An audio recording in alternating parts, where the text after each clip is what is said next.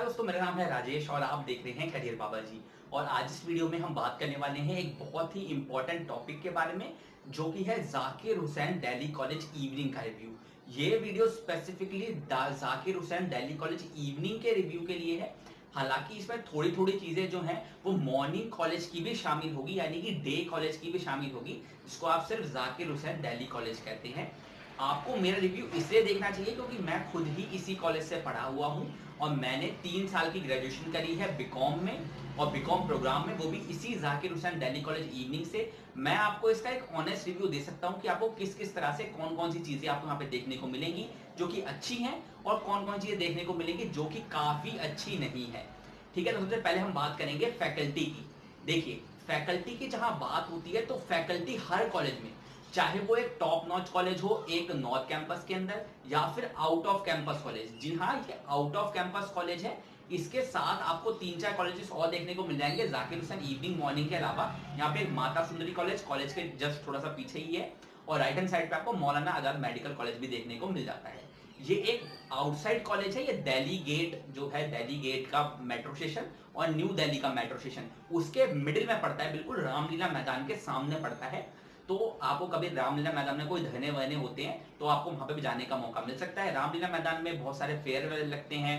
ये लाल किले के भी पास है, चांदनी चौक के भी पास है। ये आपको बहुत सारे ये जो हिस्टोरिकल प्लेसेस हैं, जो कि आपका जामा मस्जिद वगैरह है, यहाँ भी आप जा सकते हैं। सदर बाज़ार तक आप पूरा घूम सकते हैं। तो काफ़ी ज़्यादा घूमने की जगह आपको यहाँ पे देखने को मिल जाती है। इसके पास जो है कनॉट प्लेस भी है और न्यू दिल्ली का जो रेलवे स्टेशन है, वो भी इसके पास ही है। तो ये तो इसके सर्कल की बात हो गई, इसके आसपास की बात हो गई। हम फैकल्टी के मुद्दे से भटक गए हैं। सबसे पहले आपको फैकल्टी की बात बता दूँ। देखिए फैकल्टी हर कॉलेज में सिमिलर ही होती है, क्योंकि फैकल्टी हमेशा हाईली क्वालिफाइड ही हायर करी जाती है। हाईली क्वालिफाइड इसलिए क्योंकि उनको स्टूडेंट को टीच करना है, जो कि एक बहुत हायर लेवल के हैं, जो कि ग्रेजुएशन लेवल के हैं। अगर आप बीए कर रहे हैं, अगर आप बीएससी कर रहे हैं, या बीकॉम कर रहे हैं, आप कोई भी कोर्स कर रहे हैं साइकोलॉजी ऑनर्स कर रहे हैं, या फिर कोई भी ऐसा कोर्स है जिसमें आपको टीचिंग की बहुत ज़्यादा ज़रूरत है तो फैकल्टी हमेशा हाईली क्वालिफाइड ही हायर करी जाती है। इसमें जहाँ तक फैकल्टी की बात करूँ तो बहुत सारे यहाँ पे डॉक्टरेट भी हैं, यानी कि लोगों ने पीएचडी भी कर रखी है। बहुत सारे टीचर जो है, वो असिस्टेंट प्रोफेसर भी हैं, बहुत सारे एसोसिएट प्रोफेसर भी हैं। यानी कि आपको फैकल्टी के मामले में कोई भी कॉलेज कमतर नहीं मिलेगा, और वैसे ही आपको जाकिर हुसैन दिल्ली कॉलेज इवनिंग भी कमतर नहीं मिलेगा। इसमें फैकल्टी आपको बहुत अच्छी देखने को मिलती है। बात करें इंफ्रास्ट्रक्चर की, यानी कि कॉलेज की बिल्डिंग कैसी है, उसका डेस्क वगैरह कैसे हैं? वहाँ के जो पार्क हैं थोड़ा ग्राउंड है, वो सब चीज़ें कैसी है? तो वो सब चीज़ों के बारे में बताते हैं। देखिए, अभी अभी सेवन स्टोरी या फिर एट स्टोरी बिल्डिंग मैं श्योर नहीं हूँ, आप जाके गूगल पे भी देख लेना। एक न्यू बिल्डिंग वहाँ पे बनी है जाकिर हुसैन दिल्ली कॉलेज इवनिंग में, और बहुत ही शानदार बिल्डिंग है। अगर आप गूगल पे डालेंगे जाकिर हुसैन न्यू बिल्डिंग या फिर यूट्यूब पे भी लिखेंगे तो कुछ लोगों ने इसका बिल्डिंग का थोड़ा सा रिव्यू दे रखा है रिव्यू का दे रखा है, थोड़ी सी वीडियो बना रखी है तो आपको बहुत अच्छा देखने को मिल जाएगा। बहुत अच्छी बिल्डिंग बनी हुई है। तो बिल्डिंग तो काफ़ी अच्छी है। बाकी बात रही एक साइंस ब्लॉक है इसके अंदर। उसकी थोड़ी खराब हालत है उस बिल्डिंग की। ऐसा डर लगता है कि भैया कहीं बिल्डिंग ना गिर जाए। ठीक है तो साइंस ब्लॉक की जो बिल्डिंग है वो काफ़ी पुरानी है और मेरे ख्याल से वो टूटने भी वाली है क्योंकि सामने एक जो नई बिल्डिंग बनी है सेवन स्टोरी शायद वो वहाँ शिफ्ट हो जाएगा। तो आपको उससे डरने की ज़रूरत नहीं है। बाकी बात रही थोड़ा और इंफ्रास्ट्रक्चर की बात करें तो इसमें डेस्क वगैरह भी ठीक है, कोई ज़्यादा खराबी नहीं है डेस्क में। डेस्क जैसे होते हैं स्टूडेंट के बैठने के लिए, वैसे डेस्क हैं। और बात करें इसमें एक रॉक गार्डन है। रॉक गार्डन में क्या है? बहुत सारे आपको फ्लावर्स देखने को मिल जाएँगे, बहुत सारे आपको थोड़ी पार्किंग का एरिया मिल जाता है। तो बहुत अच्छा वहाँ पे ग्राउंड है, जहाँ पे आप फ़ोटोज़ वगैरह ले सकते हैं। उसको हम रॉक गार्डन कहते हैं और रॉक गार्डन के अलावा आपको बहुत सारे इसके अंदर अलग अलग तरह के जो कैंटीन जिसकी कैंटीन की बात करूँ तो उसमें दो, एक आउटसाइड कैंटीन है, एक इनसाइड कैंटीन है। इनसाइड कैंटीन में आपको वही जैसे नॉर्मल कैंटीन होती है, वैसी कैंटीन है। आउटसाइड कैंटीन में आपको जो चेयर है वो लगी हुई है चेयर, और जब आप फ़ोटोज़ देखेंगे तो आपको दिख जाएँगे, यहाँ पे चेयर लगी हुई है, और वो चेयर, वो भी कैंटीन काफ़ी अच्छी है। बाकी लाइब्रेरी की तो लाइब्रेरी में बहुत ज़्यादा बुके नहीं है और बहुत कम बुके भी नहीं है। इतनी बुके सफिशियंट है कि आपका सिलेबस आपको कुछ एक्स्ट्रा बुकें पढ़नी हो, जैसे कि एक दिलीप कुमार जी की बुक है, इसमें बहुत अच्छी बुक है, मैंने वो बुक पढ़ी थी, आप भी वो बुक ज़रूर पढ़ना। और भी बहुत सारी बुक्स आपको देखने को मिल जाती है मतलब बहुत अच्छी लाइब्रेरी भी नहीं है, बहुत बेकार लाइब्रेरी लेकिन हाँ मॉर्निंग कॉलेज की काफ़ी अच्छी लाइब्रेरी है, जो कि मैंने देखी है। वो काफ़ी अच्छी लाइब्रेरी है और जैसे मैं बताता हूँ, मैं मॉर्निंग इवनिंग दोनों कॉलेज का रिव्यू साथ में देके चलूँगा, लेकिन स्पेसिफिकली इवनिंग कॉलेज के लिए ये मैं वीडियो आपके लिए बना रहा हूँ। ठीक है? इसके आपको इंफ्रास्ट्रक्चर समझ में आ गया होगा कि किस तरह से यहाँ पे इंफ्रास्ट्रक्चर आपको देखने को मिलेगा। बात करें स्टूडेंट्स की तो देखिए स्टूडेंट्स जो होते हैं, वो कुछ अच्छे भी होते हैं, कुछ थोड़े अच्छे नहीं भी होते हैं। कुछ पॉलिटिक्स में इन्वॉल्व होते हैं, कुछ कहीं ईसी एक्टिविटीज़ में इन्वॉल्व होते हैं। तो आप पे डिपेंड करता है कि आप किस तरह के बनना चाहते हैं। आपको स्टूडेंट से क्या लेना देना? आपको थोड़ा ना शादी करनी है। आपको क्या करना है? आपको अपनी पढ़ाई करनी है। तो आपको अगर अपनी पढ़ाई में, जैसे मान लीजिए कि आपको एक आर्मी ऑफिसर बनना है तो आप कहाँ कहाँ जा सकते हैं? आप ईसी एक्टिविटीज़ में जा सकते हैं एनसीसी में जा सकते हैं। आपको और थोड़ा सीखना है तो आप एनसीसी के अलावा और भी किसी सोसाइटी में, जैसे डिबेटिंग में जा सकते हैं। डिबेटिंग में आपका जो आपकी कम्युनिकेशन स्किल होती है, वो स्ट्रांग हो जाएगी आपकी। तो उसमें आपको डिबेटिंग सोसाइटी भी देखने को मिल जाती है। ठीक है, आपको मैं ईसीए पे ही लेके चले जाता हूँ, क्योंकि आप यहाँ पे सब चीज़ों की बात हो रही है। तो तो क्राउड जो है वो नॉल पूरा मिक्स क्राउड है। आपको अच्छे लोग भी देखने को मिल जाएँगे, थोड़े कम अच्छे भी देखने को मिल जाएँगे। तो सारी तरह के आपको लोग यहाँ पे देखने को मिल जाते हैं। ठीक है, बात करें तो यहाँ पे इसकी टाइमिंग की तो टाइमिंग थोड़ी सी रात हो जाती है। जब आप जब विंटर्स के टाइम की बात करें तो उसमें थोड़ी रात हो जाती है। गर्ल्स के लिए अगर वो नहीं चाहती गर्ल्स की, भाई, मैं एकदम रात को जाऊँ आठ आठ बजे, साढ़े साढ़े आठ बजे मैं वहाँ से निकलूं। तो आप इवनिंग कॉलेज ना प्रेफर करें, लेकिन अगर वो कोई कॉलेज नहीं मिल रहा है तो एक बहुत अच्छा अपॉर्चुनिटी है। बहुत सारी गर्ल्स भी हमारे साथ पढ़ती थी और वो हमारे साथ ही जाया करती थी तो उसमें कोई परेशानी नहीं होती है। और हाँ एरिया ठीक है, उतना भी अच्छा नहीं है, क्योंकि आप जानते हैं कि नो ओल्ड दिल्ली का एरिया है तो उतना ज़्यादा अच्छा एरिया नहीं है, लेकिन हाँ अच्छा एरिया है, ठीक एरिया है। काम चलाऊ एरिया है, वहाँ पे हम लोग आप, हम लोग सब साथ ग्रुप बना के जाएँगे तो उसमें भी कोई दिक्कत नहीं आती है।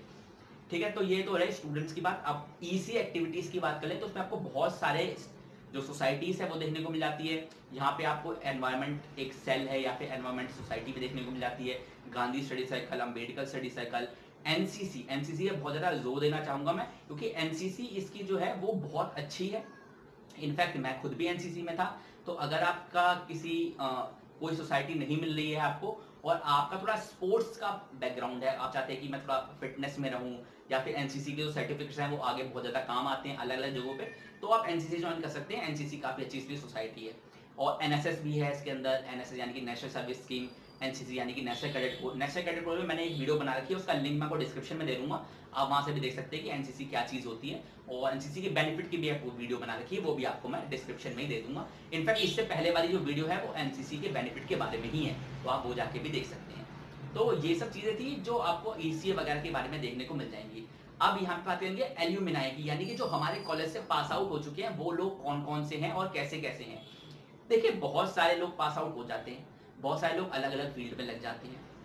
कुछ लोग यहाँ से बहुत अच्छे नहीं भी बन पाए हैं। कुछ लोग बहुत अच्छे बने हैं। जैसी मैंने आपको बात बताई थी कि अगर आप अच्छे हैं तो आप अच्छे बनेंगे। अगर आप अच्छे नहीं हैं तो कोई भी आपको अच्छा नहीं बना सकता। अगर आप कॉलेज में पढ़ने के लिए आए हैं तो आप क्लास अटेंड करेंगे, आप ईसीए में एक्टिव रहेंगे, आप इधर उधर घूमेंगे, आप, क्या कहते हैं इधर उधर पार्टिसिपेट करेंगे, आपको सर्टिफिकेट्स वगैरह मिलेंगे, आप इंटर्नशिप वगैरह करेंगे, आप ट्रेनिंग वगैरह करेंगे तो ज़ाहिर सी बात है कि आपके लिए अच्छा होगा, आप ही अच्छे बनेंगे।